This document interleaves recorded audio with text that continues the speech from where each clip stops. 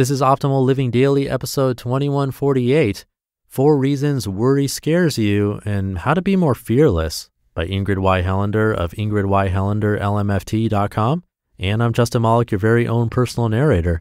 And we're going to jump right into another post and start optimizing your life. Four Reasons Worry Scares You and How to Be More Fearless by Ingrid Y. Helander of IngridYHelanderLMFT.com. Worry can strike fear in the heart. Truly confident people do not have to push worries away to feel good. But if contemplating what worries you increases your anxiety, you are not alone. Wouldn't it be great to gain a sense of calm and clarity even when you have anxious thoughts? I recently asked a group to imagine their worries and write them down. After many years working with anxious clients, I was only a little surprised by the responses. A few got helpful information. Some could not do it. Others replied with disparaging comments about their worries. Still others made little jokes or recited platitudes about how to manage their worry. Here are four big reasons that even thinking about worry can be daunting. Number one, when you imagine your worries, you can subconsciously activate your sympathetic nervous system. Try it for yourself. Write down a few things that you worry about often.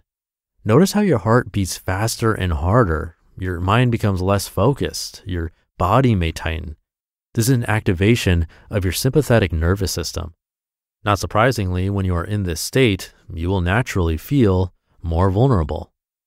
Number two, for some people, noticing worried thoughts sends them quickly toward depression. If you have a history of anxiety linked to depressive symptoms, noticing worry reminds your mind and body of sensations that feel like the slippery slope into depression. Unfortunately, now you have another worry on top of whatever worry you came up with originally.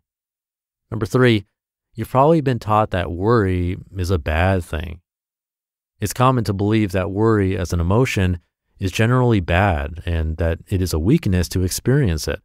This internal shaming creates critical messages inside you. So even thinking about worry creates a firestorm of difficult emotions.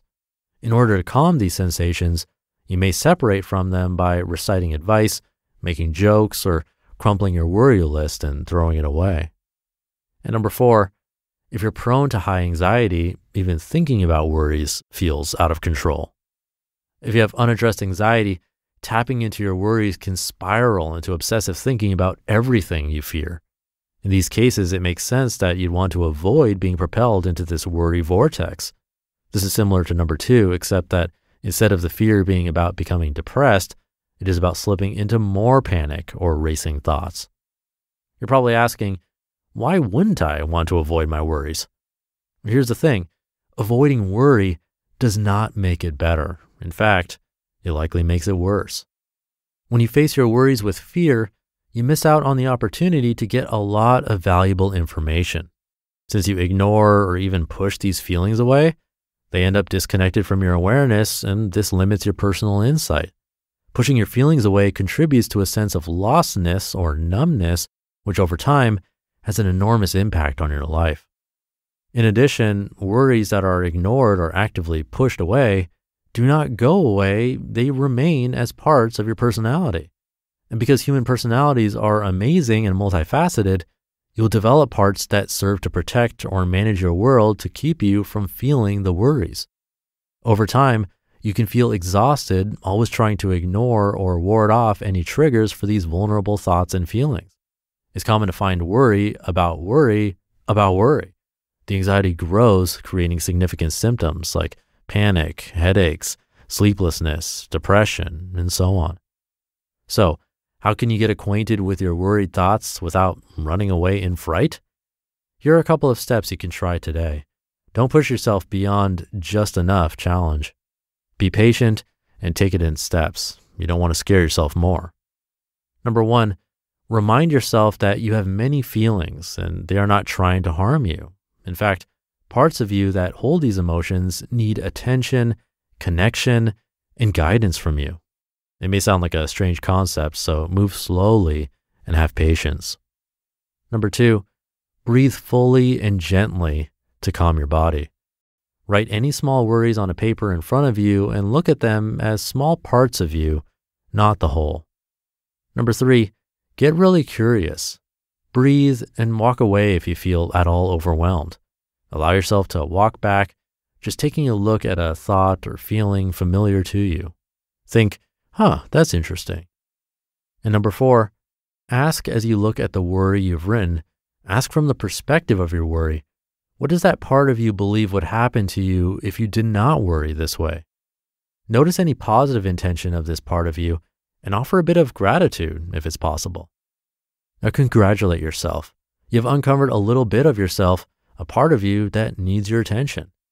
As you practice bringing more curiosity to your whole internal life, your feelings, memories, and body sensations, your confidence and clarity will grow. You just listened to the post titled Four Reasons Worry Scares You and How to Be More Fearless by Ingrid Y. Helander of Ingrid Y. Helander, LMFT.com. Remember 2020, the year of many things? Well, we are in a new year now, and if you own a small business, this could also be the year you switch to better payroll. Gusto wasn't just built for small businesses, it was built for the people behind them. Their online payroll is so easy to use. Gusto can automatically calculate paychecks and file all of your payroll taxes, which means you have more time to run your business. Plus, Gusto does way more than payroll. Gusto helps with time tracking, health insurance, 401ks, onboarding, commuter benefits, offer letters, access to HR experts. You get the idea. It's super easy to set up and get started. And if you're moving from another provider, they can transfer all your data for you. It's no surprise 94% of customers are likely to recommend Gusto. The Optimal Living Daily team has been using Gusto for years, and we have no plans to change. It's really made our lives way easier. And here's the best part because you're a listener, you get three months totally free. All you have to do is go to gusto.com slash old. Again, that's gusto.com slash OLD. I'm telling you, you're going to love Gusto. So get started today. Thank you to Ingrid. I think there are some great tips in here. I remember reading through a book about worry and how the authors kind of drew a parallel of worries to little monsters. Actually, they literally drew it because I have the image in my head of what they look like. These little monsters are things that make us anxious and we don't like to carry around with us. It makes us upset that we have to do that all the time because they're heavy and not fun to look at. But as Ingrid mentioned, if we can see them as only a small part of us, not the whole, and things that need to be nurtured and actually have a purpose of trying to help us, really, well, maybe they'll start to feel less like monsters after all.